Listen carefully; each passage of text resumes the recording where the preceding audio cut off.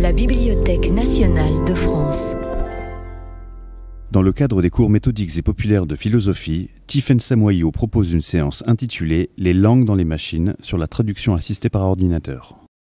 Bonjour à toutes et à tous, merci d'être euh, venus pour euh, continuer cette réflexion que nous avions amorcée euh, pour celles et ceux d'entre vous qui étiez là en février sur l'entente et la mésentente. Je vous, je vous, rappelle que la dernière fois, nous avions de posé la question s'entendre dans quelle langue et j'avais proposé une réflexion à la fois philosophique, linguistique et poétique sur l'accord, le désaccord, l'entente, la mésentente, le consensus, le dissensus.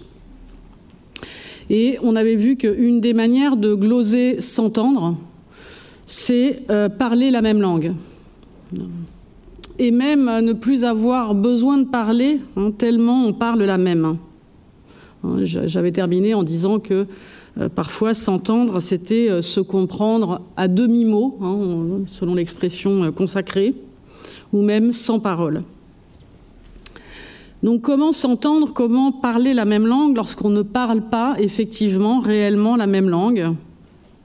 Et comment comprendre quand on ne parle pas la même? Évidemment, la traduction est une réponse continuée à cette question. D'une certaine manière, la, traduction, c'est l'effort euh, interminablement mené pour euh, répondre à cette question.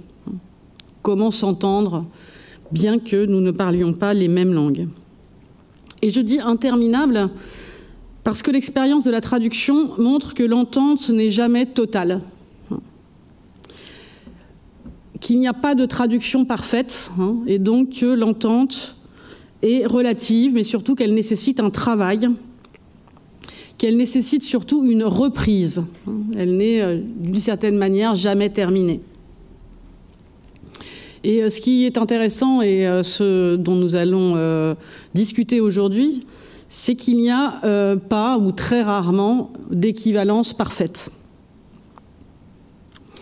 Or, et c'est pourquoi j'ai intitulé cette, de manière peut-être un petit peu incongrue, cette séance Les langues dans les machines, c'est que euh, les progrès euh, de la traduction automatique et de l'intelligence artificielle souhaiteraient contredire euh, ce que je viens d'affirmer, hein, à savoir qu'il n'y a pas d'équivalence parfaite. Le rêve de la traduction automatique, c'est bien entendu de produire des équivalences parfaites entre les langues.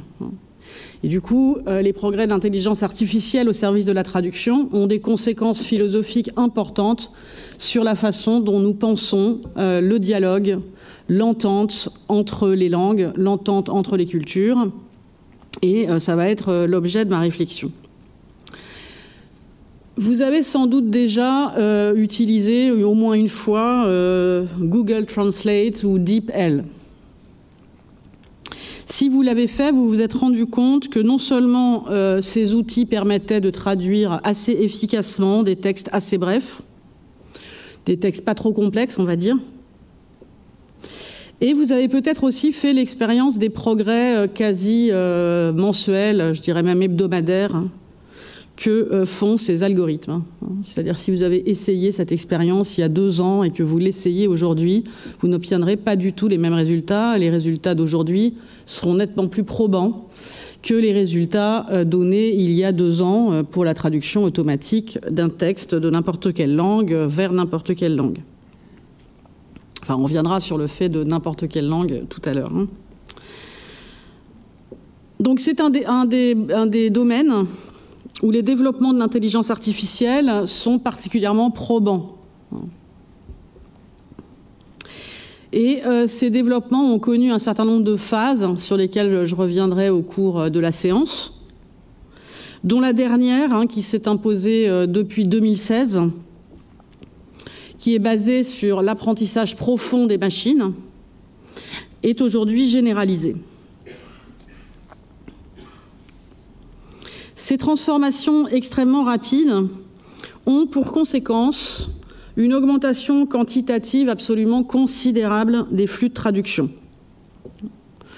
On estime actuellement à 17 milliards le nombre de traductions quotidiennes rien que sur Facebook et bien sûr encore plus sur Google. Ce qui veut dire que euh, nous, euh, collectivement, nous sommes constamment traduits et euh, que nous ne nous en rendons même pas compte, puisque la plupart du temps, les traductions qui s'effectuent sur Internet sont invisibles.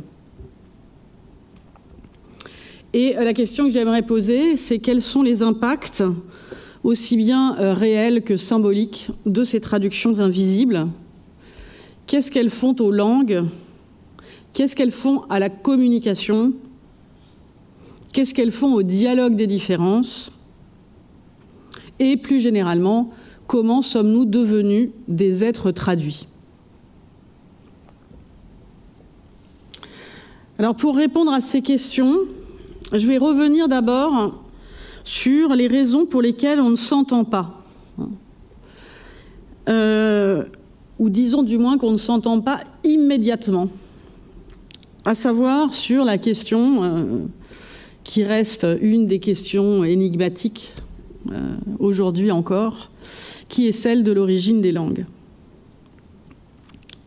Puis, je préciserai les raisons pour lesquelles on peut considérer que notre époque, hein, qui est celle de la globalisation et qui donc rend d'autant plus nécessaire la réflexion sur la communication entre les langues, euh, comment le XXe siècle a pensé la traduction et comment le XXIe siècle peut être considéré comme le siècle de la traduction. Ensuite, je reviendrai euh, sur les particularités de la traduction euh, automatique, hein, en montrant comment, précisément, à la fin du XXe siècle, avait déjà pensé cette mutation en faisant euh, de la traduction un objet de pensée qui traverse les disciplines, hein, qui est devenu particulièrement important. Et enfin, euh, dans un quatrième temps, euh, j'essaierai d'indiquer les conséquences de cette mutation. Donc, si je veux résumer, la première partie sera historique, enfin disons mythologique, on va dire plutôt. la deuxième plus théorique. La troisième plus technico-pratique et euh, la quatrième, euh, disons, euh, interrogative, en tout cas où, je maintiendrai aussi, je tenterai de, répondre à certaines questions que j'ai posées là dans mon introduction, je laisserai bien entendu certains problèmes en suspens.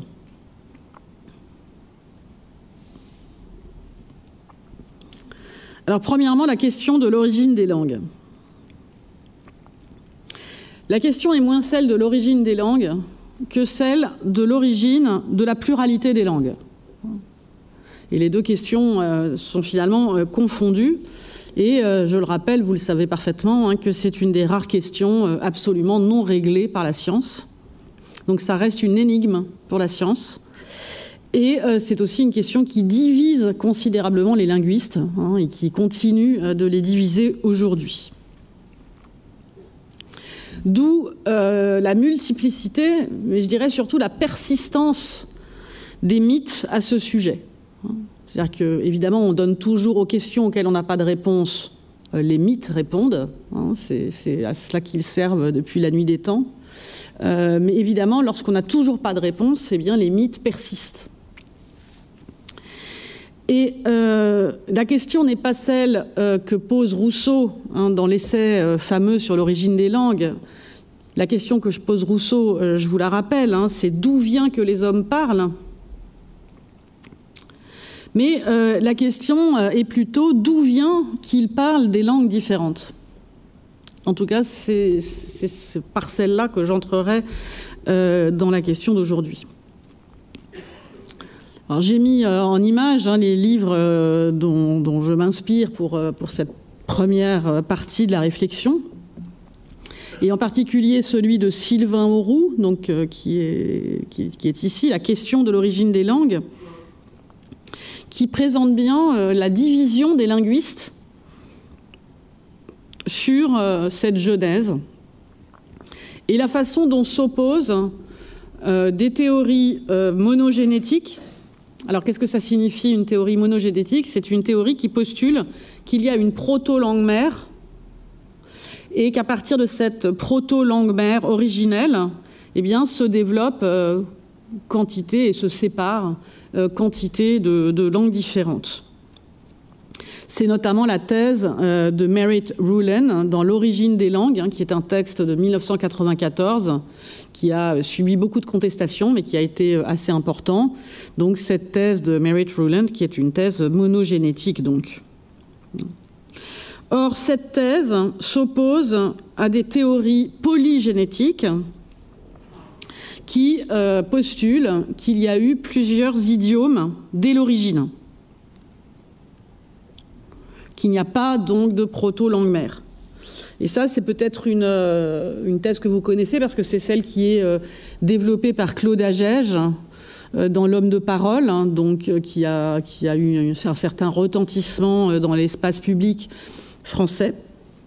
Je cite Agege Contrairement à l'idée courante, il est très probable hein, que l'immense diversité des idiomes, il est très probable hein, que l'immense diversité des idiomes aujourd'hui attestés ne se ramène pas à une langue originelle unique pour toute l'humanité. S'il y a unicité, ajoute Agege, c'est celle de la faculté de langage propre aux hominiens et non celle de la langue elle-même. À l'origine donc une seule espèce, monogénisme, monogénétisme de la lignée, mais non un seul idiome. Mais ce qu'il faut euh, préciser, euh, c'est que euh, même si probablement, disons, je suis obligé d'employer des, modalisateurs, hein, même si probablement les thèses polygénétiques sont plus convaincantes, aucune de ces théories n'est absolument démontrée. C'est-à-dire que ça n'est pas plus démontré qu'il y a plusieurs idiomes à la base que n'est démontré le fait qu'il n'y en ait qu'un. Donc, euh, donc c'est à chacun de se faire euh, sa propre, euh, sa propre thèse ou, répondre à cette question selon son propre désir. Alors, il est intéressant, pour parler de des réponses que l'on fait selon ses propres désirs, que les mythes partagent aussi cette même division. Vous avez des mythes monogénétiques, hein, qui supposent une, langue originelle, une seule, et des mythes polygénétiques.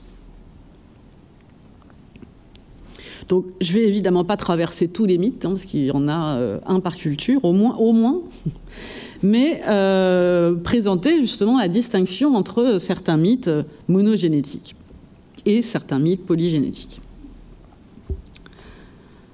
Alors, beaucoup de mythes, euh, les, parmi les plus connus, hein, et sans doute parmi euh, ceux que vous connaissez, sont monogénétiques. Puisqu'évidemment, Babel, par exemple, c'est un mythe monogénétique. Donc, les mythes monogénétiques postulent comme euh, les théories euh, linguistiques, hein, qu'il n'y a qu'une seule langue originelle et que euh, cette langue originelle se divise en plusieurs langues à l'occasion d'une dispersion.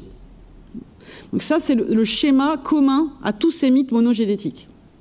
Mais la dispersion, elle peut avoir plusieurs causes. La dispersion peut avoir des causes naturelles, le cataclysme. La dispersion peut avoir des causes punitives, le châtiment divin. Et la dispersion peut avoir des causes humaines.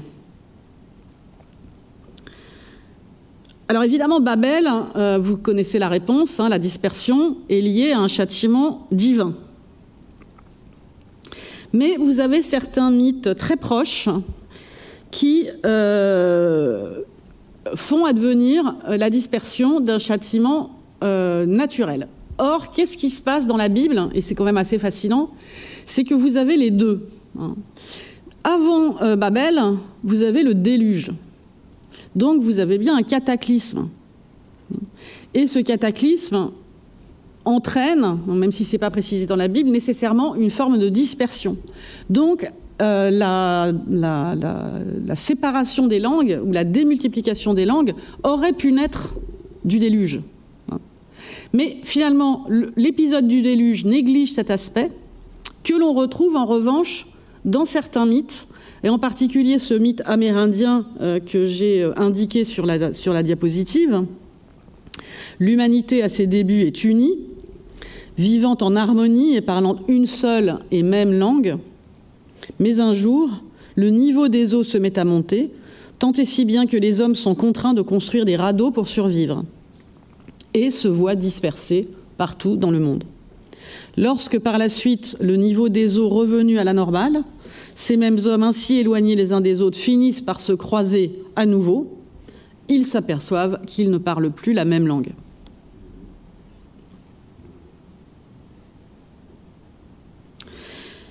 Donc évidemment, la séparation, hein, là, euh, les, les, personnes qui sont sur des radeaux différents, la séparation, la dispersion produit la confusion des langues, comme si être séparé impliquait nécessairement de ne plus se comprendre. Hein, ça, c'est intéressant que ça revient dans quantité de mythes. Et aussi comme si chaque langue était, euh, dès l'origine mythique, associée à une terre différente. À une terre correspond une langue. Et donc l'occupation des différentes terres justifie aussi la différenciation des langues. Et dans ces mythes-là, dans ce mythe par exemple que je viens de lire, en un seul mouvement, ce qui euh, dans la Bible se fait en deux mouvements, eh bien, euh, à savoir la séparation et euh, la différenciation des langues. Et en effet, dans la Bible, se fait en deux mouvements, à savoir l'épisode du déluge et celui de Babel.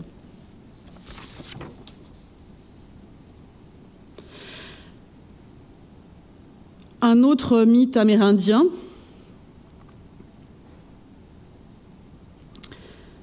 Euh, là, qui est intéressant parce qu'il ne donne pas comme raison ni une catastrophe naturelle, ni un châtiment divin, mais une origine humaine.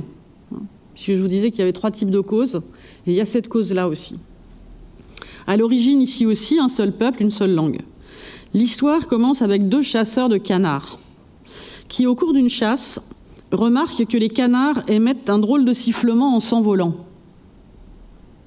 Le premier dit que cela vient du bec, mais l'autre dit que cela vient du mouvement des ailes. Une dispute éclate. De retour au village, ils prennent les autres à témoin et retournent ensemble sur les lieux du conflit. Deux clans se forment alors, les premiers persuadés que le sifflement vient du bec, les autres des ailes. La dispute prend de l'ampleur, les deux clans se séparent, se choisissant chacun un nouveau chef. Au fil du temps, chacun des deux clans vivant désormais éloignés l'un de l'autre finit par parler sa propre langue. Donc là aussi, vous voyez que l'éloignement ou l'occupation d'une autre terre implique euh, la naissance d'une nouvelle langue ou la différenciation des langues. Mais ici, c'est un conflit interne aux humains qui détermine la différenciation. Dans d'autres mythes proches, je ne voulais pas en recenser euh, des quantités et des quantités parce qu'on a d'autres choses à, voir, mais dans d'autres mythes proches, la langue unique peut être un problème. Hein, hein, et la différenciation des langues devient une solution. Parce que précisément, ça permet à chacun de rester euh, dans sa zone hein, et, de ne pas. Euh, et, de, de supprimer le conflit. Alors, dans les mythes polygénétiques, donc qui correspondent à ces théories linguistiques aujourd'hui de la polygenèse des langues, vous en avez aussi un certain nombre. Hein. J'ai cité celui-là du, Mali, un mythe bambara qui raconte simplement qu'Adam s'étrangla en avalant son morceau de pomme et recracha les morceaux en faisant divers bruits qui devinrent les langues du monde. Donc euh, vous trouvez euh, beaucoup de ces récits mythiques hein, dans le livre de Louis-Jean Calvet. Il était une fois 7000 euh, langues hein, que j'avais mis dans la première diapositive. Ou encore ce mythe australien qui raconte que le premier être humain à avoir posé le pied sur le continent australien était une femme du nom de Waramurunguji. Arrivée par la mer d'Arafura sur l'île Crocker, elle attribua à chacun de ses nombreux enfants une partie de la terre ainsi qu'une langue. Donc le, polylinguisme, le plurilinguisme est là dès l'origine. Mais encore une fois, on a cette association terre-langue hein, qui finalement revient de mythe en mythe. Donc dans le cas de ces mythes polygénétiques, les langues sont plurielles dès l'origine. Et loin d'être le résultat d'un châtiment ou d'un drame, hein, quel qu'il soit, cette diversité est donc voulue, hein, euh, pleinement assumée. Et il s'agit de faire correspondre donc terre, langue et identité. Et avoir plusieurs langues n'apparaît plus comme un obstacle, hein, euh, comme dans les mythes monogénétiques où c'est toujours un châtiment, presque toujours un châtiment, mais comme une bonne chose. Euh, c'est à la fois euh, la possibilité d'une évacuation des conflits dans certains cas, mais aussi le signe d'une appartenance à une communauté. Donc si vous voulez en savoir plus sur ces, sur ces mythes et sur ces questions, j'ai cité, euh, vous avez ce livre de Louis-Jean Calvet qui est tout à fait passionnant, mais vous avez aussi euh, un, musée euh, numérique hein, qui s'appelle Mundo Lingua hein, et qui raconte beaucoup de ces histoires et qui est un lieu tout à fait passionnant.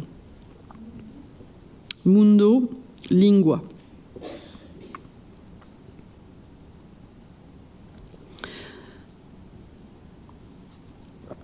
Alors malgré le caractère positif, on l'a vu, que confèrent euh, certaines de ces histoires à la différence des langues, le plus souvent, euh, cette différence est vécue comme un problème, hein, d'où euh, l'importance et la démultiplication aussi des mythes, des mythes négatifs. Euh, et d'ailleurs, euh, presque tous les livres qui ont pour thème la traduction, ou même qui euh, se présentent comme des pensées, philosophies, théories de la traduction, eh bien, racontent le mythe de Babel, racontent l'histoire de Babel, voilà, comme, comme ouverture de la réflexion. Hein. C'est presque devenu une topique de la réflexion sur la traduction. Et la persistance de ces histoires de châtiment et de punition euh, montre bien que euh, cette diversité des langues est plutôt vécue, euh, plus largement, en tout cas culturellement, en tout cas par un plus grand nombre de cultures, comme un problème que comme une solution. C'est ainsi que, comme je le disais en commençant, la traduction apparaît comme une forme de réparation de cette entente interrompue. Bon, certes, on ne parle pas les mêmes langues, mais on a un outil, on a un processus, on a une solution pour réparer cette mésentente, c'est la traduction. Et donc, pour répondre à la question que je posais initialement, hein, savoir comment s'entendre quand on ne s'entend pas. Et euh, je le disais aussi en commençant, c'est très important euh, de le préciser, ce problème est amplifié aujourd'hui euh, par les formes euh, prise par la globalisation. Le rapprochement de tous les humains multiplie la nécessité d'une compréhension réciproque, d'où deux réponses qui ont été données euh, par la globalisation. Hein, vous les connaissez. La première réponse, c'est la langue mondiale. La deuxième réponse, c'est la traduction. Il semblerait, et je pense que vous en serez d'accord euh, comme une prémisse, euh, même si c'est plus compliqué, vous allez le voir, euh, que la traduction soit à privilégier par rapport à la langue mondiale. C'est-à-dire, on prend acte de la diversité des langues, hein. on ne cherche pas à réparer la diversité, mais on cherche à réparer le fait qu'on ne s'entende pas. Donc la traduction hein, est une meilleure solution que la langue mondiale. La langue mondiale voudrait revenir Hein, euh, à la thèse ou, à au bit de l'unicité de la langue. Donc si la traduction est à privilégier, c'est parce qu'elle défend la pluralité et qu'elle maintient des différences tout en travaillant avec elles. Donc elle est une forme d'ouverture à l'autre euh, euh, et, et, une tentative de dialogue. Mais on va le voir, la traduction automatique transforme la donne de euh, ce maintien euh, de la pluralité et des différences, et on va voir comment. Avant cela, avant d'en revenir à la traduction automatique et aux problèmes qu'elle peut poser par rapport justement à cette question de l'entente et de la mésentente, je voudrais faire un détour par la philosophie de la traduction, hein, la façon dont la fin du XXe siècle et le début du XXIe siècle ont pensé la traduction. Nous vivons en effet dans une époque euh, où la traduction est devenue, euh, ce pourrait dire, paradigmatique. Hein. C'est-à-dire qu'elle est devenue, euh, depuis, je dirais, les années 1980, un moment d'explosion hein, de cette nouvelle mondialisation ou de cette globalisation, elle est devenue un lieu de pensée qui traverse les disciplines. C'est-à-dire qu'elle euh, elle apparaît dans énormément de disciplines différentes et elle aide aussi à concevoir le lien entre les disciplines. Hein que ça soit euh, les sciences politiques, euh, là, évidemment, le droit, hein, l'histoire, la littérature, etc. Et elle apparaît aussi comme un outil important hein, pour réinventer le politique, puisqu'elle engage toute la relation à l'étranger. Donc elle est devenue, c'est en cela qu'on l'appelle paradigmatique, elle est devenue un discours qui permet d'assumer d'autres discours. Et l'accroissement des références scientifiques sur ce sujet est tout à fait frappante hein, depuis cette époque. Euh, aujourd'hui, c'est presque inépuisable le nombre de publications euh, dans de très nombreuses langues sur la traduction. Alors cet âge de la traduction, hein, euh, qu'on peut appeler un âge de la traduction, a d'abord des raisons d'être historiques. Je le disais il y a un instant, la globalisation implique la traduction. Et euh, si on peut parler de tournant traductif, ou en anglais de translation stern, c'est euh, sans doute pour deux raisons. D'abord, parce que euh, la traduction permet donc de problématiser la circulation des idées, mais aussi la circulation des personnes. Hein. La, traduction joue un rôle considérable hein, dans les camps de réfugiés, dans, euh, dans les demandes d'asile, euh, bon, voilà, voilà.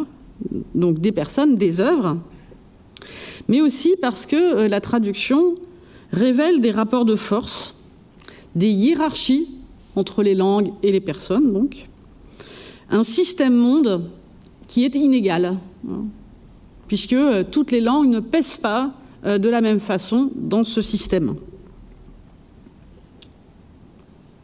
Et donc la traduction permet de mettre au jour euh, la part euh, négative, ou du moins la part difficile de ces circulations et de ces échanges dans un monde globalisé. On peut bien parler de monde globalisé, mais en réalité, cette globalisation, elle est à plusieurs échelles, à plusieurs vitesses, hein, et elle n'implique pas les langues, ni les personnes, ni les cultures de la même manière ou selon un poids égal.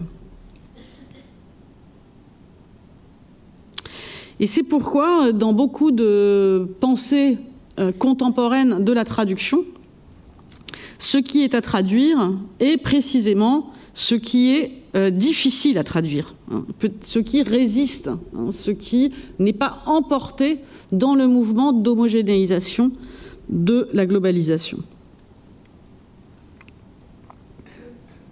Ce qui appelle la traduction, euh, c'est l'intraduisible, défini comme ce qui est toujours à traduire. Donc j'ai mis là le, déroulé hein, de, mon exposé euh, derrière vous euh, pour, que vous puissiez suivre plus facilement, parce qu'on est entré donc, dans la partie plus théorique, hein, moins, voilà, moins narrative de mon exposé et notamment dans les pensées postcoloniales de la traduction. Euh, où la question est justement de celle des langues minorisées, des langues plus petites, des langues mineures. Ce qui est à traduire est précisément tout ce qui offre des alternatives aux représentations dominantes et qui viennent hein, de, parts euh, moins dominantes, moins euh, exposées de la culture mondiale. Donc je cite ici la théoricienne Gayatri euh, Spivak. Euh, vous avez la citation sur la diapo. Le texte littéraire intéressant à traduire, dit-elle, est justement celui où nous n'apprenons pas la perspective majoritaire de la représentation ou de l'auto-représentation culturelle de l'État-nation. La traduction a ainsi un rôle vraiment important à jouer pour les représentations, dans la mesure où, euh, précisément parce qu'elle a une activité qui a longtemps été considérée comme mineure, elle peut être une pratique sensible euh, de la différence et même voire de ce qui est laissé pour compte.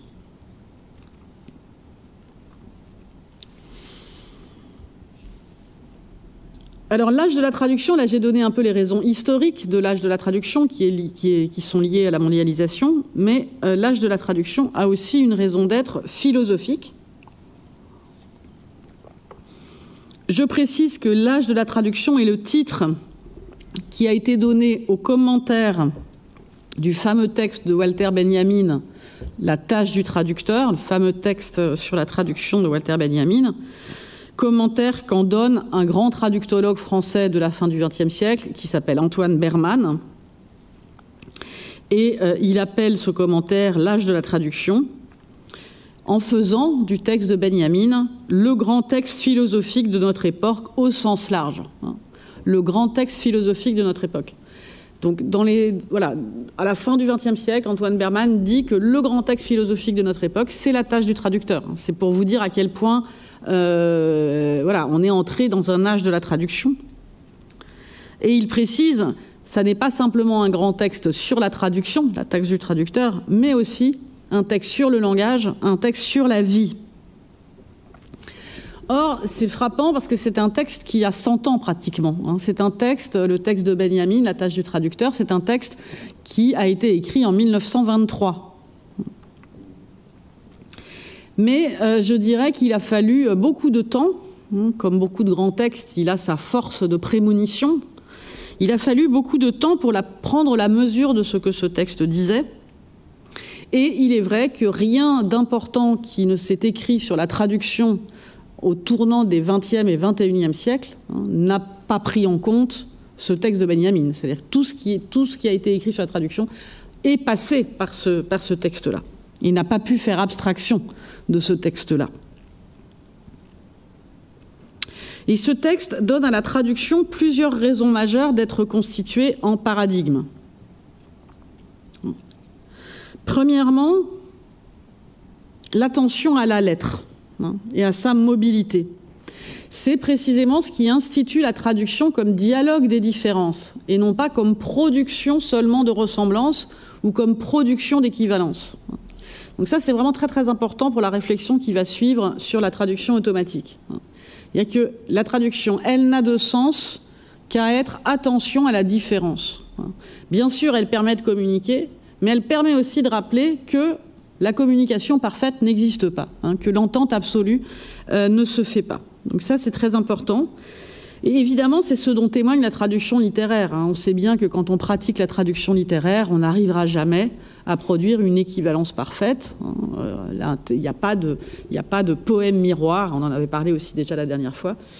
Euh, mais c'est ce dont témoigne aussi euh, l'entreprise philosophique du vocabulaire européen des philosophies, dont vous avez sans doute déjà entendu parler dans le cadre de ce cours.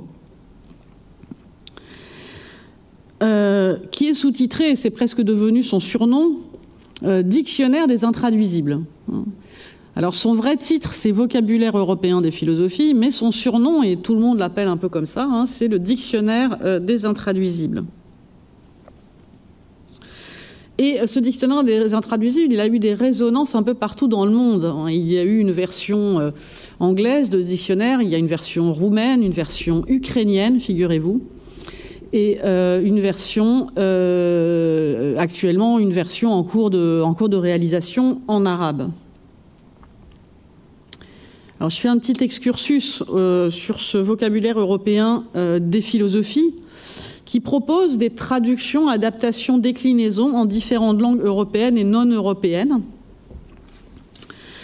et qui implique la non-équivalence des concepts. Alors ça, c'est très très important pour la philosophie, parce que si vous voulez une philosophie euh, qui se considère comme, euh, comme universelle ou universaliste, c'est une, une philosophie qui postule que les concepts sont des universaux. Alors le dictionnaire des intraduisibles postule que les concepts ne sont pas des universaux, puisque d'une langue à l'autre, on va avoir une variante. Alors, ça ne veut pas dire qu'il n'y a pas d'entente, hein, mais que ce qui est intéressant, ça va être la petite différence. Hein, et qu'on va construire, par exemple, qu'entre euh, vérité et pravda, hein, voilà, en vérité en russe, euh, eh ben, il n'y a pas tout à fait le même sens.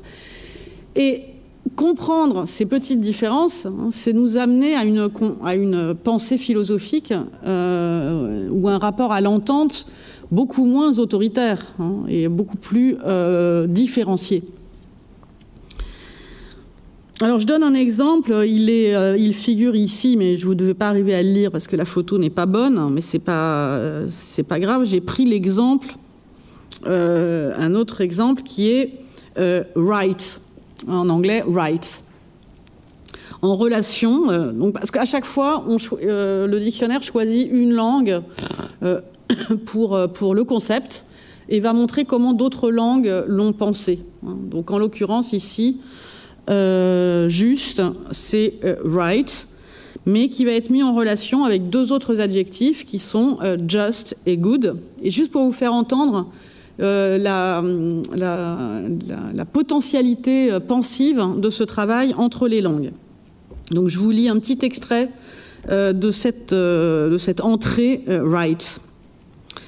Le français ne distingue pas nettement le bien et le bon, l'impératif et l'attractif, alors que l'anglais a deux séries distinctes qui correspondent assez clairement aux deux catégories du bien.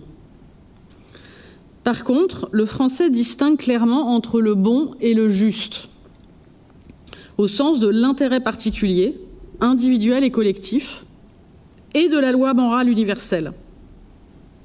Donc le français va distinguer entre ces deux plans, alors que l'anglais est moins net sur la distinction entre right et just, puisque rightness peut aussi bien vouloir dire rectitude que justicia. Ainsi, le traducteur risquera d'être toujours confronté à des cas où l'opposition du right au good semblera être celle du bien au bien. Donc on voit par cet exemple, trop rapidement donné, mais tout, le, dictionnaire, c'est un principe, fonctionne comme ça, dans cette petite différence entre les langues, une mise en cause de l'un, avec un grand U, qui se trouve à se réfléchir dans la traduction et qui permet aussi euh, de, dire que l'entente repose aussi sur la compréhension de ces différences et que le deux, hein, euh, voilà, le, deux, les deux langues, les deux cultures, les deux pensées, ne euh, se résout jamais dans l'un, Hein, et que le travail du sens est toujours du coup une construction. Et donc ça justifie aussi qu'il y ait traduction, c'est-à-dire effort de compréhension de la différence, dès qu'on perçoit de l'intraduisible. Alors je retourne à la diapositive précédente.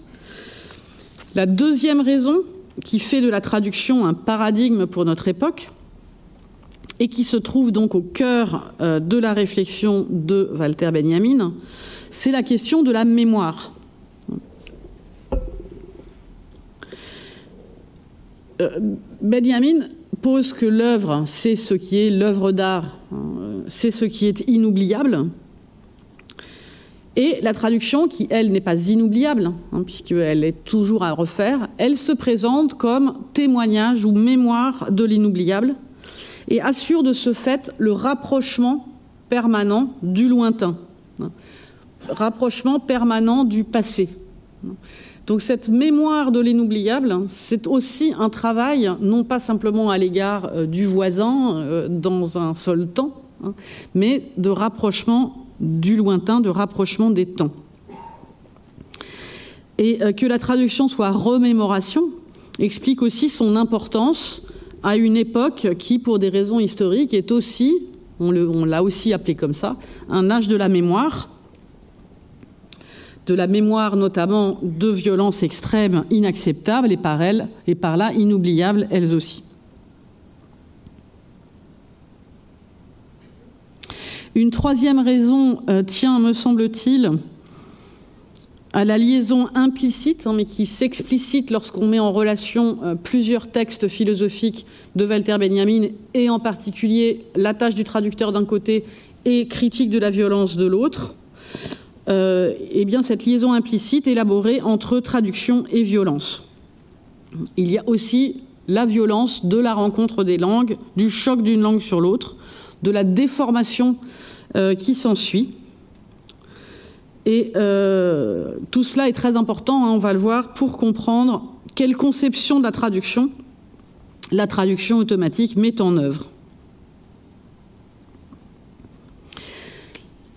Il y a donc eu, hein, euh, avec j'en ai posé les conditions et les arrière-plans historiques et philosophiques, un tournant éthique de la réflexion sur la traduction autour des années 90-2000, je dirais, qui coïncide d'ailleurs plus ou moins dans les sociétés occidentales avec la décolonisation d'abord, mais aussi avec la fin de la guerre froide où on a voulu faire de la traduction un lieu de pacification, euh, un lieu de compréhension de l'altérité, qui a accompagné, me semble-t-il, un discours général allant dans ce sens, euh, et qu'on voit bien qu'on ne peut plus tenir aujourd'hui. Hein. Euh, discours où il s'agissait de, parvenir à une société pacifiée, sans conflit, hein, tenter de vivre dans un monde sans ennemis.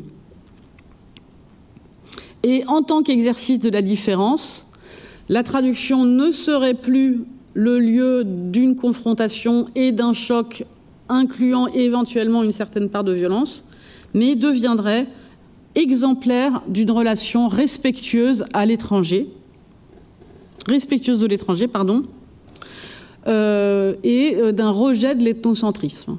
Donc ça, ça a été un discours énormément tenu dans ces années-là, institutionnalisé par euh, des institutions comme l'UNESCO, par exemple, hein, ou même les institutions européennes, le discours sur la traduction comme hospitalité comme répondant exclusivement aux lois de l'hospitalité. Alors qu'on voit bien que c'est beaucoup plus compliqué que cela, et j'ai essayé de le faire entendre déjà précédemment. Donc il y a eu, je disais que ce discours a été relayé par les institutions, mais il a été porté aussi par des textes très importants Hein, que j'ai mis ici, euh, des textes de théorie de la traduction tout à fait euh, décisifs. Hein, euh, ceux, d'Antoine Berman, donc, que j'ai déjà cité, des textes de Michel Deguy sur la traduction, d'Henri Méchonic, en anglais, de Lawrence Venuti, et puis j'ai mis aussi des références non occidentales, hein, Martha Chong, Leo Tak Hung Chan.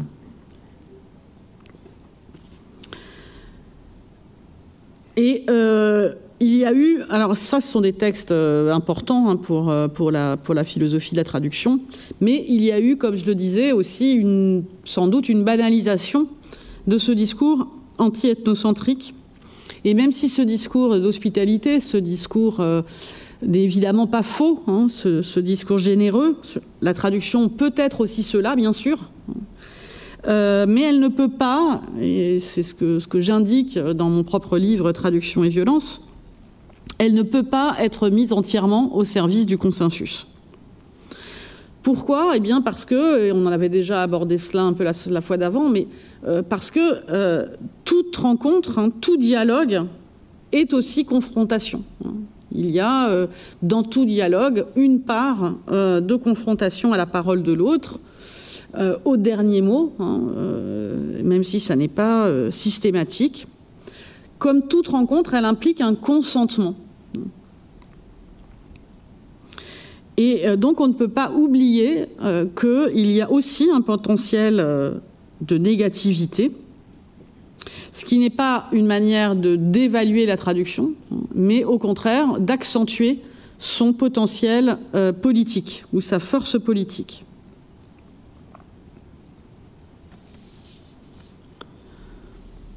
Il faut rappeler, euh, par exemple, que la traduction a participé ou a été un des instruments au service d'expériences historiques de violence extrême, a pu contribuer à l'exercice de cette violence hein, en étant, notamment de la violence coloniale, en étant un des instruments de la domination culturelle, de l'appropriation de l'autre, de l'oubli et de l'enfouissement des cultures. Et ce qui est intéressant, c'est que ça peut se faire de deux façons. Hein. Ça, peut, ça peut se faire en imposant euh, sa langue et ses grands textes à des cultures que l'on domine. Et cela peut être aussi, ça peut se faire aussi en traduisant dans les langues dominantes, d'une certaine façon, à se les approprier euh, des textes de langue, ou de culture euh, que l'on domine.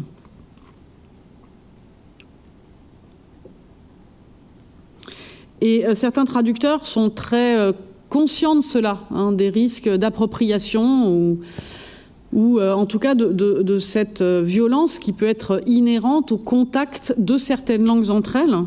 J'en donne deux exemples ici. L'exemple du traducteur euh, Yehuda Shenhav Sharabani, qui est le traducteur hébreu euh, d'un roman de l'écrivain palestinien Salman Natour. Hein, et euh, où le, traducteur est très conscient de la difficulté de faire passer euh, la souffrance palestinienne de la Dagba dans la langue des opposants.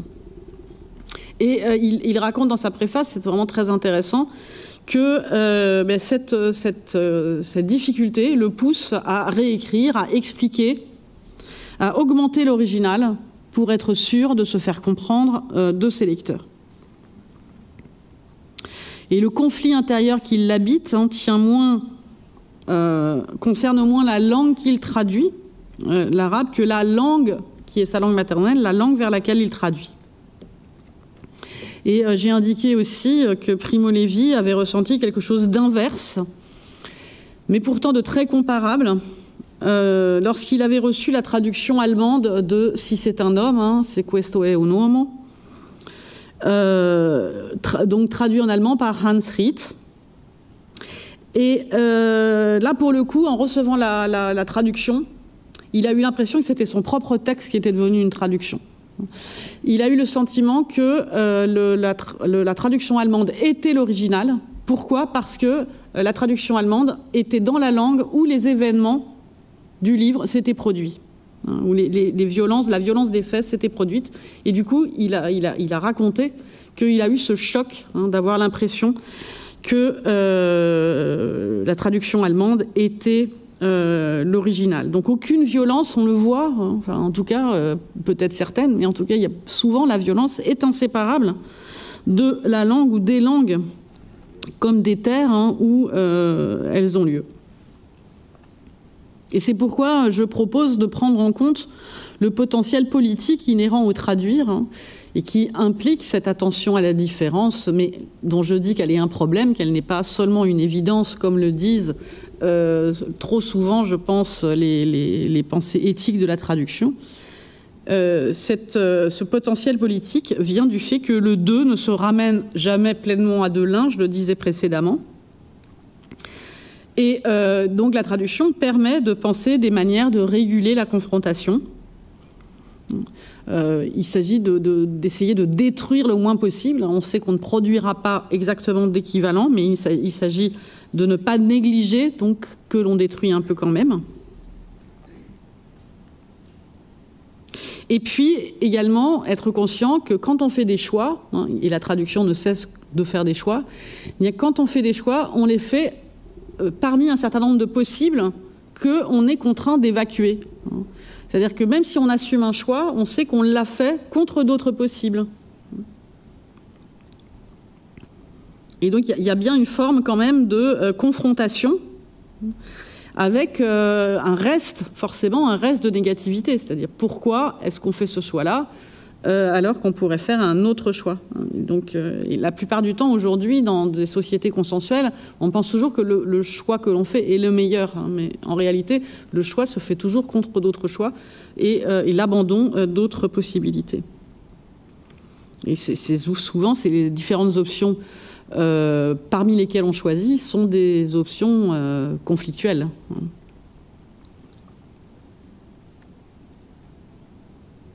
Donc ce qui est intéressant, c'est de penser que le conflit existe, qu'on l'affronte, euh, sans le déjouer entièrement.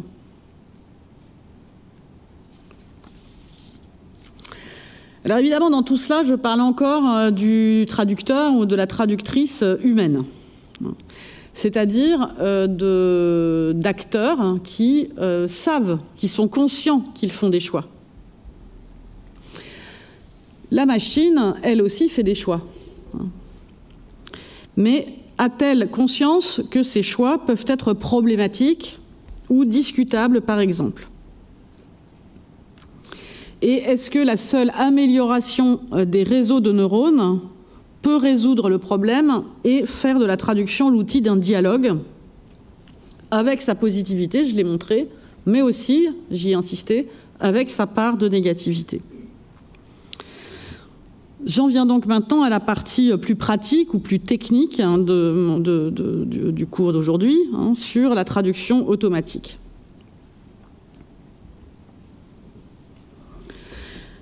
Il y a eu plusieurs phases. Hein, je, disais qu'on était dans une, phase actuellement qui suivait d'autres phases dans les développements euh, de, la, traduction automatique et euh, plus généralement de l'intelligence artificielle au service de la traduction.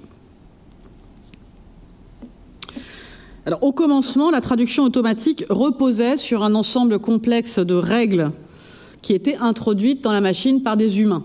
Hein, c'est-à-dire qu'on nourrissait la machine avec euh, les règles des langues et aussi euh, des règles de correspondance entre les langues.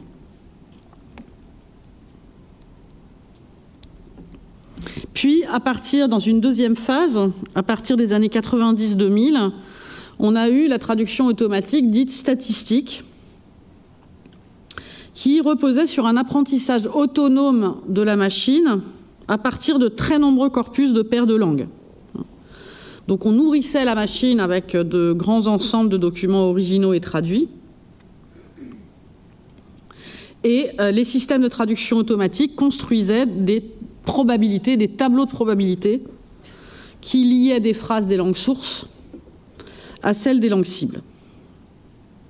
Donc on s'est aperçu que nourrir la machine avec des corpus, pour, euh, dire clairement, hein, pour traduire ce que je suis en train de dire, nourrir les machines par des corpus, c'était plus efficace que de nourrir la machine avec des règles. Donc euh, que les machines apprenaient moins facilement les règles et les correspondances entre les langues que, euh, que de, de, déduire, déduire, les règles dans des très grandes quantités de corpus. Donc là, la machine avait une certaine capacité à déduire les règles euh, des, corpus. Enfin, pas forcément déduire les règles, mais traduire à partir des corpus et des probabilités que quand euh, vous avez euh, tel ordre des mots et tel mot dans une langue donnée, il, soit traduit de telle manière dans une autre langue.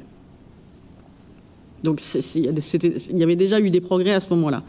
Mais les progrès considérables, ils sont arrivés avec la troisième mutation, la troisième phase, qui est celle de la traduction automatique neuronale qui utilise, donc c'est le système de, l'intelligence artificielle actuelle, qui utilise un réseau de neurones artificiels hein, associés à des algorithmes capables de comprendre, entre guillemets, les déclarations, idées et intentions du texte, de les corréler aussi hein, de manière pertinente et de prendre en compte avec beaucoup plus de précision les contextes.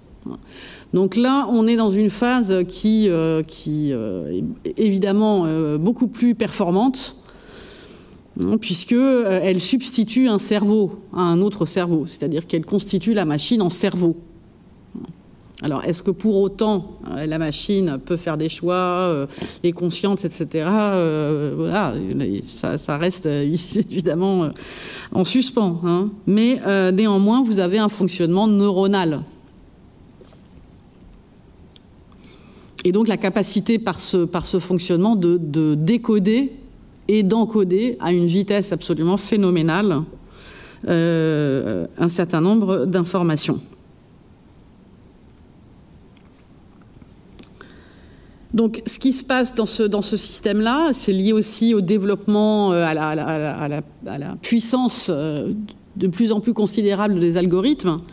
c'est que ces réseaux hein, de neurones ils sont capables hein, de, en quelques instants, hein, de recourir à des, à des millions de données hein, pour aboutir à une solution. Donc ils ont euh, évidemment des capacités d'absorption, des capacités euh, mémorielles euh, infiniment plus élevées que les cerveaux humains. Donc, comment ça marche? Je vous avez un petit, un petit schéma ici. Le but, c'est de reproduire donc le fonctionnement du cerveau humain en connectant des réseaux, hein, en connectant des réseaux de neurones. Donc, dans un ensemble de données, vous allez avoir plusieurs sous-ensembles qui vont, qui vont se, mettre en branle euh, les uns après les autres pour aboutir à la traduction.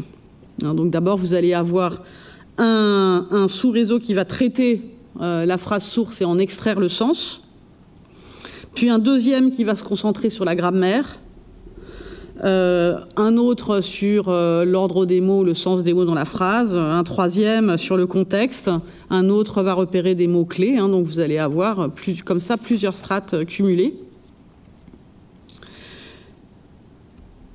Ou euh, pour en avoir une autre figuration, c'est peut-être encore plus clair, si vous voulez, par rapport voilà, donc vous voyez comment ça se passe, c'est-à-dire que euh, vous n'avez pas simplement euh, un mot qui, euh, passe dans, un, enfin, qui passe directement, qui est traduit directement d'une source à une cible. Hein. comme, on, figure très souvent la traduction, hein, on passe d'une source à une cible. Ici, on ne va pas d'une source à une cible, mais avant d'arriver à la cible, on va passer par quantité de réseaux de neurones entrecroisés qui vont finalement faire sortir la cible les progrès qui sont réalisés dans le domaine de la traduction automatique sont, euh, je vous le disais dans l'introduction, absolument euh, considérables et il est très difficile de tenir là-dessus des discours qui euh, ne deviennent pas très vite obsolètes. Hein. Par exemple, jusqu'à il y a un an à peu près, un an et demi, les traductions automatiques passaient souvent par le relais de l'anglais pour traduire d'une langue à l'autre. Par exemple, pour traduire du chinois au français, elle passait par le relais de l'anglais. Mais aujourd'hui, on a développé, enfin c'est Facebook qui a développé en 2020 euh, un système de traducteur multilingue efficace et euh, qui euh, indique qu'elle peut traduire à peu près 100 langues sans se baser sur les données de la langue anglaise.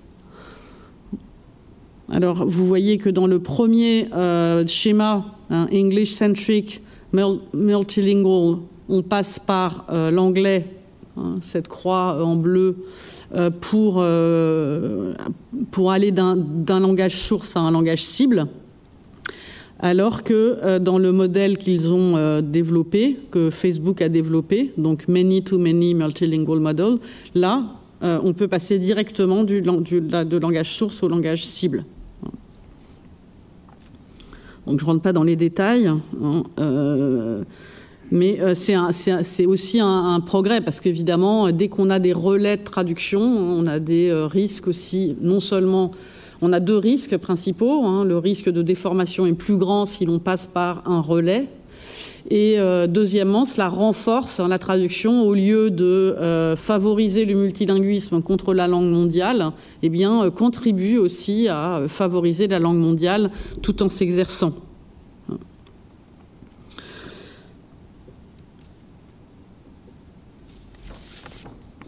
Euh, et, les progrès qui ont été faits aussi cette année, depuis l'année dernière et cette année euh, sur, euh, sur la, puissance des nouveaux langages, hein, qui accélèrent les processus, qui accélèrent encore les processus d'encodage et de décodage, eh bien, augmentent les possibilités de la traduction et de l'amélioration aussi des traductions et aussi, comme je le disais en commençant, de la démultiplication des traductions. C'est-à-dire que plus il y a de traductions, plus il y a de traductions.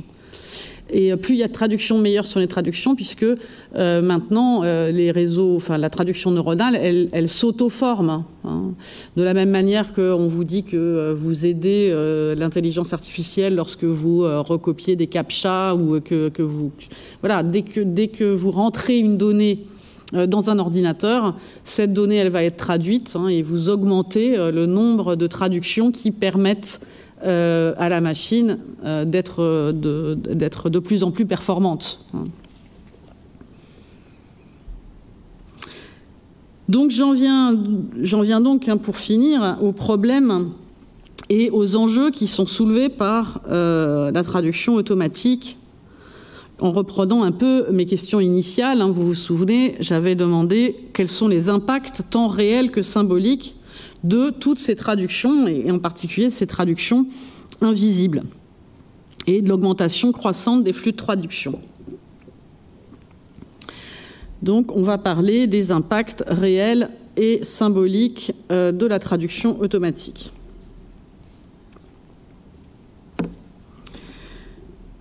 Alors le premier impact euh, qui est dénoncé, c'est celui que, euh, la traduction automatique ferait disparaître les traducteurs humains. Alors euh, cela, à mon sens, n'est pas véritablement un enjeu. Hein. Je vais vous expliquer pourquoi. Parce que euh, l'augmentation des traductions, hein, telle que je l'ai présentée euh, initialement, cette augmentation est telle, dans de telles proportions, cette augmentation quantitative, qu'elle ne pourrait pas être prise en charge par les traducteurs humains. Si vous voulez, les 17 milliards de traductions dont je vous ai parlé quotidiennes sur Facebook, ça ne pourrait pas être des traducteurs humains qui les font. Mais on peut dire que les traducteurs humains euh, sont toujours nécessaires et peut-être plus que jamais nécessaires. Alors déjà pour la traduction des textes complexes, les textes les plus polysémiques, hein, il va de soi que euh, pour le moment, euh, les machines ne peuvent traduire efficacement la littérature et la poésie, même si elles font aussi des progrès dans ce domaine et que les promoteurs de l'intelligence artificielle sont persuadés que ce sera possible. Mais les traducteurs humains sont aussi nécessaires pour la révision des traductions. Et donc il y a un nouveau métier qui a été euh, créé par euh, ce, développement de la traduction automatique, euh, c'est ce qu'on appelle la post-édition. Donc aujourd'hui, les, les, jeunes traductrices et traducteurs qui se forment hein, se forment au moins autant euh, en post-édition qu'en traduction traditionnelle. Et la post-édition, c'est euh, le travail après les machines. Donc c'est une certaine manière de penser la collaboration homme-machine. Et euh, il est très très important de soutenir cet effort parce que ça n'est qu'en réfléchissant véritablement à cette collaboration qu'on ne se laissera pas déborder ni par des discours catastrophistes, ni par, sur les machines, ni par les machines elles-mêmes. Donc la post-édition d'une traduction correspond au travail de relecture et d'édition qui est assuré euh, par des linguistes, des traducteurs professionnels, euh, à partir d'un document dont la traduction été générée automatiquement. Alors c'est déjà comme ça que fonctionnent les institutions internationales depuis au moins 20 ans. Hein. Euh, mais aujourd'hui, ça s'est euh, beaucoup généralisé. Puisqu'il y a euh, des livres qui sont publiés aujourd'hui, même dans des maisons d'édition françaises, hein, qui reposent sur ce principe. C'est rarement précisé. Hein. Alors les principaux problèmes rencontrés par les post-éditeurs ou les post-éditrices, c'est-à-dire ceux qui relisent ces traductions automatisées, euh, ce sont des, erreurs généralement contextuelles, hein, des erreurs sur le contexte, même si dans les réseaux de neurones, il y en a qui sont là pour travailler le contexte. Alors que dans le cas de la traduction humaine, euh, la relecture porte, plutôt sur des erreurs euh, linguistiques, contresens ou grammaticales. Donc des erreurs contextuelles, des problèmes de compréhension euh, aussi du sens pour les mots polysémiques ou d'évaluation du sens en contexte pour les mots polysémiques. Donc c'est encore un problème contextuel. Évidemment la question des métaphores et des jeux de mots. Euh, alors on pourrait penser que euh, voilà que la traduction commerciale en a moins besoin, mais euh, je, précise hein, que le marketing, par exemple, utilise beaucoup les jeux de mots. Hein, donc euh, voilà, c'est aussi un problème pour euh, pour la traduction commerciale. La machine n'ayant pas d'intelligence analogique, elle n'a pas accès à la représentation, donc elle n'a pas accès au monde mental représenté par les textes. Donc c'est la principale difficulté qui est la source des erreurs. Mais il reste difficile d'identifier les erreurs parce qu'elles sont extrêmement aléatoires. C'est pas parce que la machine n'a pas le sens des contextes ou n'a pas d'intelligence analogique qu'elle se trompe. C'est-à-dire que parfois elle ne se trompe pas. Et la plupart du temps même elle ne se trompe pas. Donc on ne peut pas euh, systématiser euh, les, erreurs rencontrées. Alors, pour ce qui est de la traduction des textes polysémiques, hein, comme la littérature et la poésie, je vous présente un, une, expérience qui est actuellement menée par euh, l'Atlas, donc euh, l'association des traducteurs euh, littéraires, qui a été donc créé, un dispositif créé en décembre 2018 pour suivre l'évolution des performances des traducteurs automatiques en ligne face aux textes littéraires. Donc c'est une expérience qui est conduite sur dix années.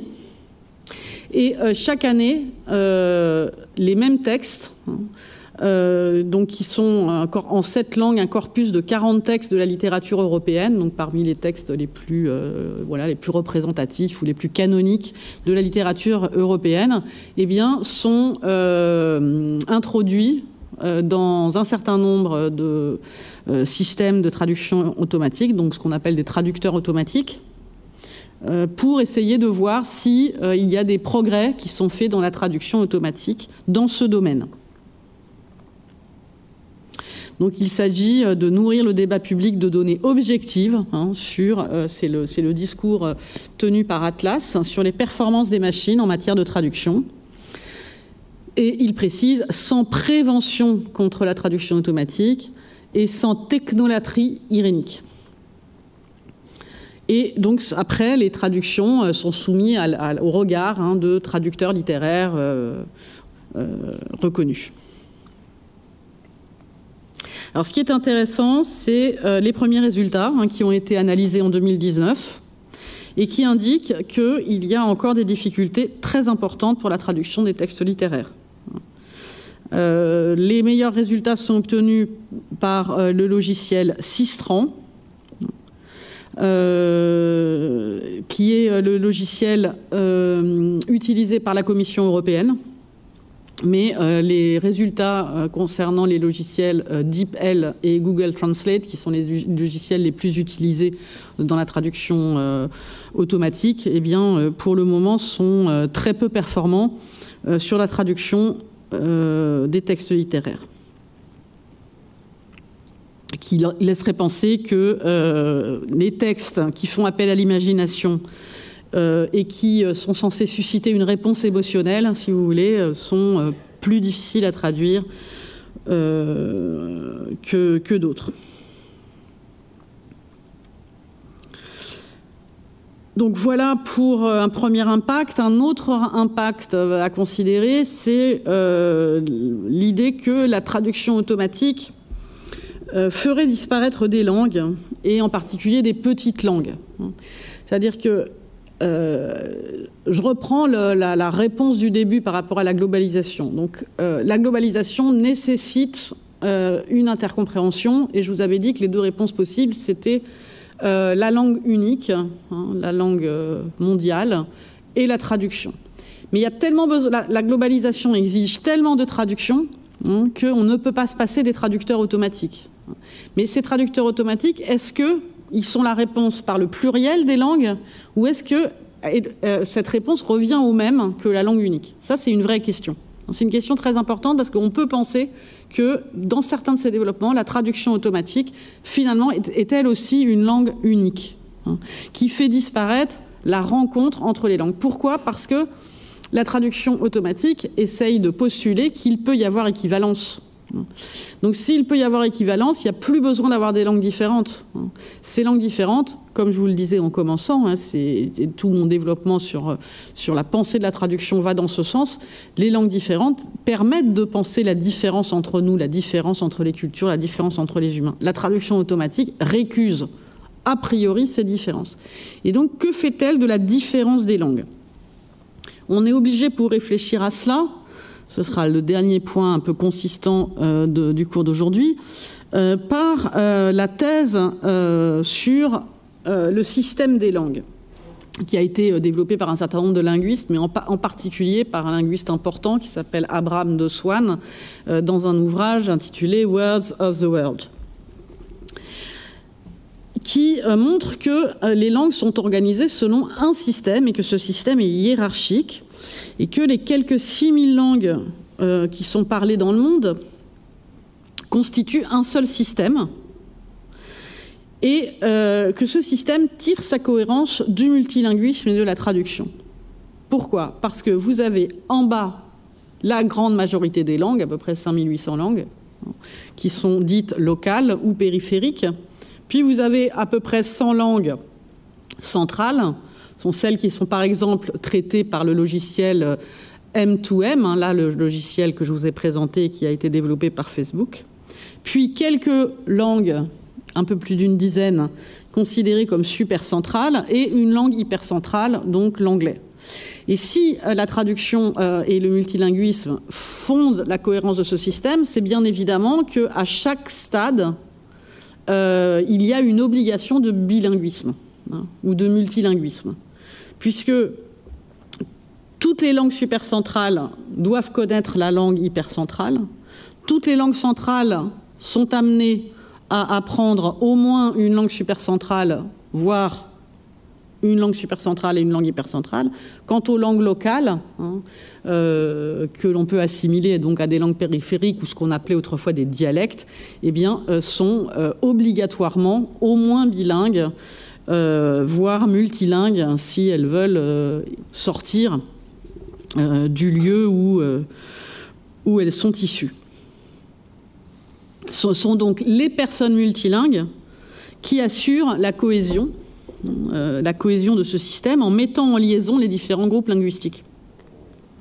Soit par la voie directe euh, de la rencontre entre des locuteurs polyglottes, soit par la voie indirecte de la traduction opérée par une tierce personne.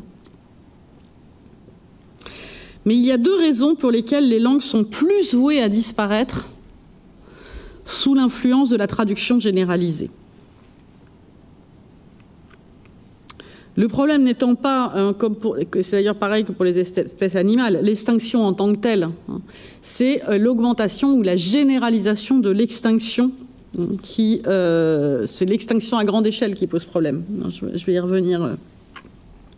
Donc deux raisons indiquent que la traduction généralisée, finalement, a plus de chances peut-être de d'éteindre les langues que la langue mondiale et donc va dans le même sens d'une unification, d'une homogénéisation, alors que la traduction en soi pourrait être un principe de euh, pluralisation ou de diversification. La première raison, c'est que la traduction généralisée pourrait rendre inutile ou même empêcherait l'apprentissage des langues. Et que le multilinguisme et la traduction comme fondement de la communauté va tendre à diminuer et donc va tendre à diminuer et donc à isoler et à fragiliser les langues les moins parlées. Alors je vous explique, c'est vraiment très clair, c'est-à-dire que si à chaque fois que vous allez à l'étranger, euh, vous activez votre traducteur automatique au lieu d'apprendre même les quatre ou cinq mots que vous appreniez auparavant pour essayer de trouver votre chemin, eh bien, euh, vous accentuez ce phénomène. Mais je vous donne un, autre exemple. Euh, je connais des professeurs, par exemple à l'IDALCO, qui enseignent le chinois ou d'autres langues d'autres langues réputées difficiles à apprendre pour des locuteurs français, par exemple. Mais aujourd'hui, c'est très compliqué euh, de, pousser les étudiants à apprendre par cœur des listes de mots et à traduire tous les jours pour, euh, pour augmenter ses compétences, puisque DeepL va au moins approximativement vous donner le sens du texte qui vous est proposé. Donc il faut absolument changer aussi les modes d'apprentissage des langues, hein, puisque aujourd'hui tous les élèves tous les étudiants vont recourir à ces outils. On a beau leur dire ça sert à rien, ben, malgré tout, ils existent ces outils. Donc il faut plutôt changer la disposition que l'on a par rapport à l'enseignement des langues ou changer le rapport que l'on a entre euh, langue et traduction. Donc là, c'est véritablement un danger que euh, la traduction diminue et empêche finalement l'apprentissage des langues. La deuxième raison tient au fait que cette hiérarchie hein, que vous voyez ici, eh bien, euh, et, la division finalement qui euh, oppose des langues puissantes et des langues fragiles, eh bien, elle se répercute dans les machines. Plus euh, l'inégalité se creuse, en fait, plus la, division s'accentue. Parce que dans ces données quantitatives que je vous ai données, vous imaginez bien que 90% des traductions automatiques vont par l'anglais, vers l'anglais, de l'anglais, etc. Donc ça renforce le pouvoir de l'anglais.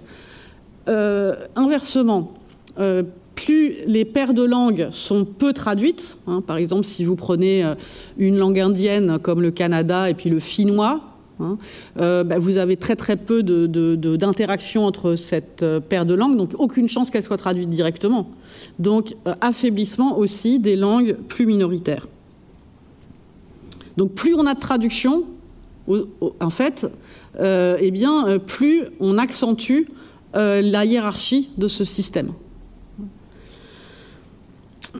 Et donc, de façon cruciale, la traduction peut accentuer ce phénomène de disparition des langues plutôt que de le corriger. C'est le renversement par rapport à ce que je disais au début, c'est-à-dire que la traduction, c'est bien la réponse euh, à la globalisation, la réponse plurielle, la réponse différentielle à la globalisation par rapport à la langue mondiale. Mais si on n'y prend pas garde, euh, les développements de la traduction dans les machines, eh au lieu euh, de, pluraliser, renforce euh, l'homogénéité. Puisque ces traductions invisibles, hein, le plus souvent invisibles, dont je parlais en commençant, modifient le système des langues et des relations entre elles. Et donc, malgré un, système comme celui que je vous ai présenté rapidement, proposé par Facebook, qui peut traduire euh, bah, ces 100 langues sans passer par le détour de l'anglais, donc renforce quand même euh, concrètement euh, la présence et le pouvoir de ces 100 langues, qu'en est-il des 5900 autres? Donc on va terminer hein, sur cette question de la disparition des langues. Alors la disparition des langues, c'est comme la disparition des espèces, hein, ce n'est pas un phénomène nouveau. Les linguistes estiment que euh, en 5000 ans, par exemple, au moins 30 000 langues euh, sur la Terre sont nées et ont disparu. Mais c'est l'accélération hein, de cette extinction qui est problématique et qui pose des enjeux écologiques au même titre que euh, l'accélération la, de l'extinction des espèces animales. Puisque certains experts, alors ce sont peut-être les plus alarmistes, mais disons que certains experts, vous le voyez sur le schéma, prévoient qu'au cours du présent siècle, du XXIe siècle, de 50% à 90% des langues parlées actuelles disparaîtront. C'est-à-dire sur les à peu près 6000 langues euh, qui existent actuellement sur la Terre, entre 3000 et 4000. Rien qu'en Europe, hein, qui est le continent le moins menacé, sur 123 langues recensées en Europe, et, encore une fois, c'est le continent le moins menacé, on compte, selon l'UNESCO, 9 langues moribondes donc 123 langues, 9 langues moribondes, 26 proches de l'extinction et 38 en danger.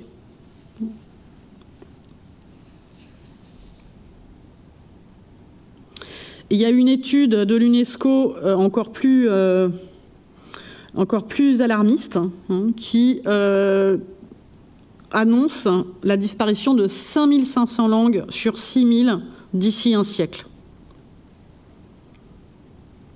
donc ce qui signifierait une liquidation de 90% des langues actuelles.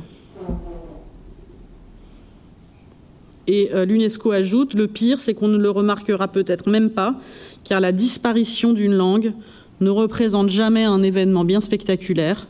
Pourtant, euh, ajoute ce rapport, on peut parler d'un véritable cataclysme qui se produira dans l'indifférence générale. Donc je conclurai en euh, essayant de donner une petite note plus positive.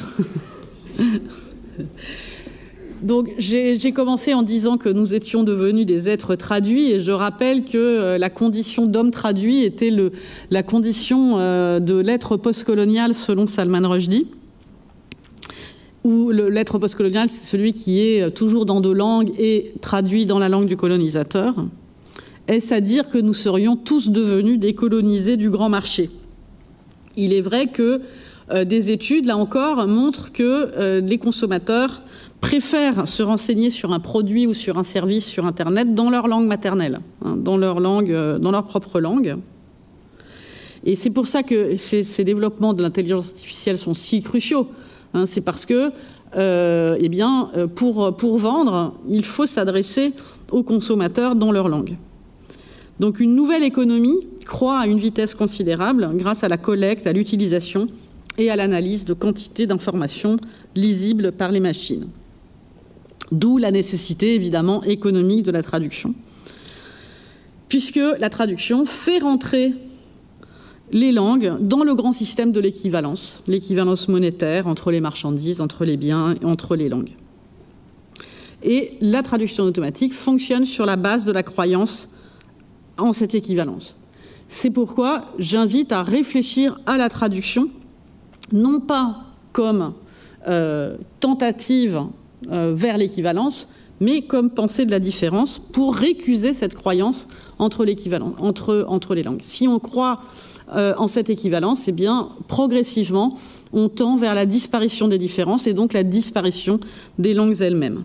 C'est la raison pour laquelle euh, la réflexion doit tendre et, les actions publiques, hein, les actions politiques doivent tendre vers la promotion d'une collaboration homme-machine de plus en plus intense.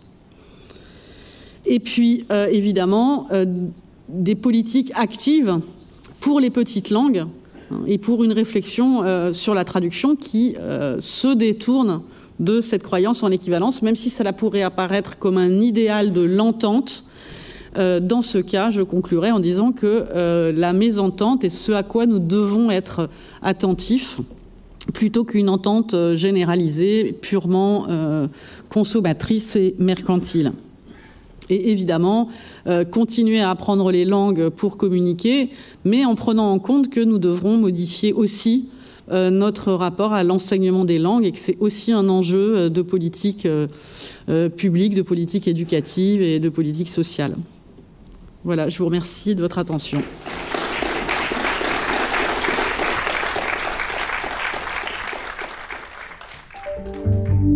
D'écouter un podcast de la Bibliothèque nationale de France. Retrouvez les conférences, rencontres et créations de la BNF sur toutes les plateformes de podcast ainsi que sur le site bnf.fr.